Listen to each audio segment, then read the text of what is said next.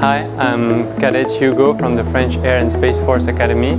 I decided to come to PCCE uh, for my final year uh, internship.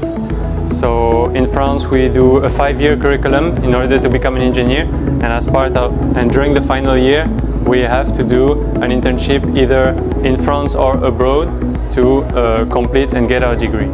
So I decided to come to PCCE because of the country first. I came to, I wanted to come to India for, because you speak English. That's the first reason.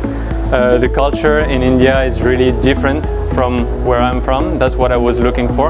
And I think those things are really important when you want to become an engineer, to have an open mind and to be able to speak English properly. So with uh, Sir uh, Khanolkar, I'm working with him on um, joint communication and radar systems. So our, my job here is to try to improve what is going to be used for 6G, hopefully. So right now everybody is using, not everybody, but 5G just got released and already there are some researchers um, doing research on 6G. So my stay so far, uh, so I've been staying here for three months already and I enjoyed it a lot.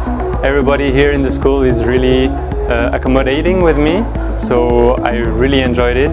Even if it's really hot, it's a nice time for me.